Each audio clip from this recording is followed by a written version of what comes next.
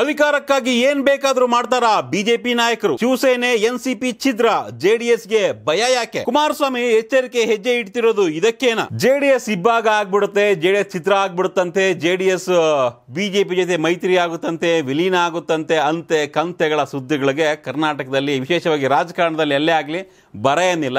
So ಈ ರೀತಿಯ ಒಂದು ಅಂತೆ ಕಂತೆ ಈಗ ಕರ್ನಾಟಕದಲ್ಲೂ ಶುರುವಾಗ್ತಾ ಇದೆ. ವಿಶೇಷವಾಗಿ ಮಹಾರಾಷ್ಟ್ರದಲ್ಲಿ ಕ್ಷಿಪ್ರ ರಾಜಕೀಯ ಕ್ರಾಂತಿ ಆದಮೇಲೆ ಒಂದು ವರ್ಷದ ಹಿಂದೆ, ಒಂದು ಕಳೆದ ವರ್ಷ ಶಿವಸೇನೆ ಇಬ್ಬಾಗ ಮಾಡಿ ಶಿವಸೇನೆಯನ್ನು ಬಿ ಜೆ ಪಿಗೆ ಸಪೋರ್ಟ್ ಮಾಡುವಂಥ ಕೆಲಸ ಮಾಡಿ ಶಿವಸೇನೆ ಮತ್ತು ಬಿ ಜೆ ಪಿ ಸರ್ಕಾರವನ್ನು ರಚನೆ ಮಾಡಿತು ಮಹಾರಾಷ್ಟ್ರದಲ್ಲಿ. ಎಲ್ಲರಿಗೂ ಕೂಡ ಅಚ್ಚರಿ, ಏನಪ್ಪ ಇದು? ಏಕನಾಥ್ ಶಿಂದೆ ಬಣ ಬೇರೆ ಆಗೋಯ್ತು. ರಾಜ್ ಠಾಕ್ರೆನ ಮಗ ಉದ್ಧವ್ ಠಾಕ್ರೆ ಪಾಕ್ಟ ಪಾರ್ಟಿಯನ್ನೇ ಬಿ ಜೆ ಪಿ ಛಿದ್ರ ಮಾಡಿಬಿಡ್ತಲ್ಲ ಅನ್ನೋ ಚರ್ಚೆ ಆಯಿತು. ಅಂದರೆ ಬಿ ಜೆ ಪಿ ಅಧಿಕಾರಕ್ಕಾಗಿ ಏನು ಬೇಕಾದರೂ ಮಾಡುತ್ತೆ ಅಂದ್ಕೊಂಡಿದ್ದನ್ನು ಯಾವ ಮಾರ್ಗ ಯಾವುದಾದ್ರೇನು ಗುರಿ ಉದ್ದೇಶ ಈಡೇರಬೇಕು ಅಷ್ಟೇ. ಮಾರ್ಗದ ಬಗ್ಗೆ ಚಿಂತೆ ಇಲ್ಲ ಅನ್ನೋ ಲೆಕ್ಕಾಚಾರ ಚರ್ಚೆಗಳು ಆದವು ಹಾಗಾಗಿನೇ ಬಿ ಜೆ ಪಿ ಅಧಿಕಾರಕ್ಕೋಸ್ಕರ ತಾನು ಏನಾದರೂ ಒಂದು ಗುರಿ ಇಟ್ಕೊಂಡಿದ್ರೆ ಆ ಗುರಿ ಸಾಧನೆಗೋಸ್ಕರ ಏನು ಬೇಕಾದರೂ ಮಾಡುತ್ತೆ ಅನ್ನೋದಕ್ಕೆ ನಮ್ಮ ಮುಂದೆ ಸಾಕಷ್ಟು ಎಕ್ಸಾಂಪಲ್ಸ್ ಇದ್ದಾವೆ ಮಹಾರಾಷ್ಟ್ರದಲ್ಲೇ ಭಾನುವಾರ ಆದಂಥ ಬಹುದೊಡ್ಡ ಬೆಳವಣಿಗೆ ಅಜಿತ್ ಪವಾರ್ ಎನ್ ಸಿ ಪಿಯನ್ನು ಇಬ್ಬಾಗ ಮಾಡಿ ಎನ್ ಸಿ ಪಿಯನ್ನು ಬಿ ಜೆ ಪಿಗೆ ಸಪೋರ್ಟ್ ಮಾಡಿ ಡಿ ಸಿ ಎಂ ಆಗಿಬಿಟ್ರು. ಇದೇನ್ರಿ ಇದು? ನಿನ್ನೆವರೆಗೂ ಕಚ್ಚಾಡ್ತಾ ಇದ್ರು. ಸ್ವತಃ ನರೇಂದ್ರ ಮೋದಿ ಅವರು ಎನ್ ಸಿ ಪಿಯಲ್ಲಿರ್ತಕ್ಕಂಥ ನಾಯಕರು, ಭ್ರಷ್ಟ ನಾಯಕರು ಅಂತ ಹೇಳಿದರು. ನಿನ್ನೆ ಭ್ರಷ್ಟರಾಗಿದ್ದರು ಇವತ್ತು ಬಿ ಜೆ ಪಿಗೆ ಸಪೋರ್ಟ್ ಮಾಡಿದ ತಕ್ಷಣ ಕ್ಲೀನ್ ಕೃಷ್ಣಪ್ಪ ಆಗ್ಬಿಟ್ರಾ ಅಂತ ಸ್ವತಃ ಶರದ್ ಪವಾರ್ ಪ್ರಶ್ನೆ ಮಾಡ್ತಾ ಇದ್ದಾರೆ. ಅಷ್ಟರ ಮಟ್ಟಿಗೆ ಅಂದರೆ ಬಿ ಜೆ ಪಿಗೆ ಸಿದ್ಧಾಂತ ಇದೆಲ್ಲವೂ ಕೂಡ ಈಗ ಯಾವುದು ಉಳಿದಿಲ್ಲ. ಎಲ್ಲವೂ ಕೂಡ ಪುಸ್ತಕದ ಬದನೆಕಾಯಿ ಅಷ್ಟೇ. ಅಧಿಕಾರ ಬೇಕು, ನಾವು ಅನ್ಕೊಂಡಿದ್ದು ಆಗಬೇಕು. ಹೀಗಾಗಿ ಏನು ಬೇಕಾದರೂ ಮಾಡ್ತೀವಿ ಅನ್ನೋ ಲೆಕ್ಕಕ್ಕೆ ಬಿ ಜೆ ಪಿ ನಾಯಕರು ಇದ್ದಾರೆ. ಈಗ ಕರ್ನಾಟಕಕ್ಕೆ ಕತೆಗೆ ಬರೋಣ. ಕರ್ನಾಟಕದಲ್ಲಿ ಜೆ ಡಿ ಎಸ್ ಹತ್ತೊಂಬತ್ತು ವಿಧಾನಸಭಾ ಕ್ಷೇತ್ರವನ್ನು ಗೆದ್ದಿದೆ. ಹತ್ತೊಂಬತ್ತು ಶಾಸಕರು ಇದ್ದಾರೆ.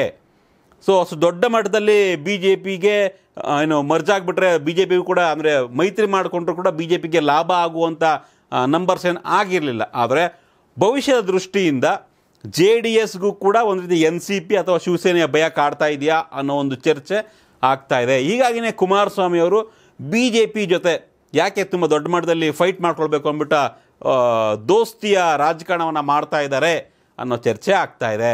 ಹೀಗಾಗಿನೇ ಆ, ಪಾರ್ಲಿಮೆಂಟ್ ಹೊಸ ಪಾರ್ಲಿಮೆಂಟ್ ಉದ್ಘಾಟನೆ ವೇಳೆ ಬಹಿಷ್ಕಾರ ಮಾಡಲಿಲ್ಲ ಬಿ ಜೆ ಪಿ ವಿರುದ್ಧ ಮಾತನಾಡಲಿಲ್ಲ ನರೇಂದ್ರ ಮೋದಿಯವರ ವಿರುದ್ಧ ಮಾತಾಡಿಲ್ಲ ಮತ್ತು ಕರ್ನಾಟಕಕ್ಕೆ ಅಕ್ಕಿ ಕೊಡಲಿಲ್ಲ ಅನ್ನೋ ವಿಚಾರಕ್ಕೆ ಸಂಬಂಧಪಟ್ಟಂತೆ ಕುಮಾರಸ್ವಾಮಿ ಅವರು ಬಿ ಜೆ ಪಿ ವಿರುದ್ಧ ಮಾತನಾಡಿಲ್ಲ ಕೇಂದ್ರ ಸರ್ಕಾರದ ವಿರುದ್ಧ ಮಾತನಾಡಲಿಲ್ಲ.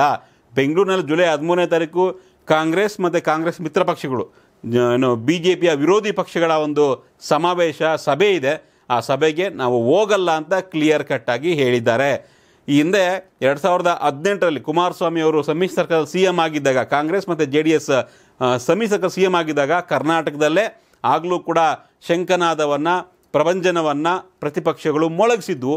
ಆದರೆ ಈಗ ಅದೇ ಕುಮಾರಸ್ವಾಮಿ, ಅದೇ ಜೆ ಡಿ ಎಸ್ ಕಾಂಗ್ರೆಸ್ ಮಿತ್ರ ಪಕ್ಷಗಳಿಂದ ದೂರ ಉಳಿತಾ ಇದೆ. ಅಂದರೆ ಬಿ ಜೆ ಪಿ ಜೊತೆ ಯಾಕಪ್ಪ ಗುದ್ದಾಡೋದು? ಸುಮ್ಮನೆ ಏನಾದರೂ ಕಿರಿಕ್ ಮಾಡಿಕೊಂಡು ನಮ್ಮ ಪಾರ್ಟಿನ ಡಿವೈಡ್ ಮಾಡಿಬಿಟ್ರೆ ಕಷ್ಟ. ಇರೋದೇ ಹತ್ತೊಂಬತ್ತು ಜನ ಶಾಸಕರು. ಹತ್ತೊಂಬತ್ತು ಜನದಲ್ಲಿ ಹದಿಮೂರು ಜನ ಶಾಸಕರನ್ನ ಎಳ್ಕೊಂಬಿಟ್ರೆ ಬಿ ಜೆ ಪಿಗೆ ಜೆ ಡಿ ಎಸ್ ಪಾರ್ಟಿಯನ್ನು ವಿಲೀನ ಮಾಡಬೇಕಾಗುತ್ತೆ ಆಗ.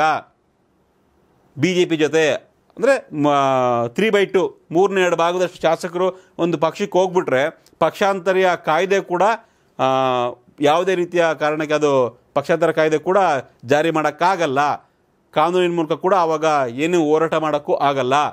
ಸೊ ಬಿ ಜೆ ಪಿ ಆ ಒಂದು ಭಯ ಜೆ ಡಿ ಎಸ್ಗೆ ಕಾಡದಂತೆ ಕಾಣಿಸ್ತಾ ಇದೆ. ಎನ್ ಸಿ ಪಿ ಮತ್ತು ಶಿವಸೇನೆಯ ಒಂದು ಬೆಳವಣಿಗೆಗಳು ಆ ಪಕ್ಷ ಛಿದ್ರವಾಗಿದ್ದು ನೋಡ್ತಾ ಇದ್ದರೆ ಕುಮಾರಸ್ವಾಮಿ ಅವರು ಎಚ್ಚರಿಕೆ ಹೆಜ್ಜೆಯನ್ನು ಇಡ್ತಾ ಇದ್ದಾರೆ. ಕಳೆದ ಬಾರಿ ಗೋವಾದಲ್ಲಿ ಏನಾಗಿತ್ತು? ಕಾಂಗ್ರೆಸ್ನ ಎಲ್ಲ ಶಾಸಕರು ಹೋಗಿ ಬಿ ಜೆ ಪಿಗೆ ಜಾಯ್ನ್ ಆಗಿಬಿಟ್ರು ಸಪೋರ್ಟ್ ಕೊಟ್ಬಿಟ್ರು. ಸೊ ಕಾಂಗ್ರೆಸ್ ಶಾಸಕರೇ ಇಲ್ದಿರ ರೀತಿಯ ವಾತಾವರಣ ಗೋವಾದಲ್ಲಿ ಆಯಿತು.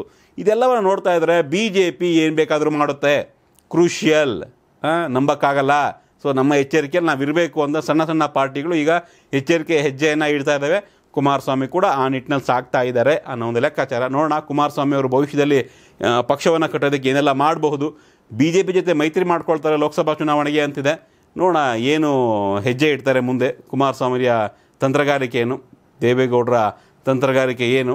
ಬಿ ಜೆ ಪಿಯ ತಂತ್ರಗಾರಿಕೆ ವಿರುದ್ಧ ಇವರ ಒಂದು ಏನು ಆ್ಯಕ್ಷನ್ಗೆ ರಿಯಾಕ್ಷನ್ ಹೇಗಿರುತ್ತೆ?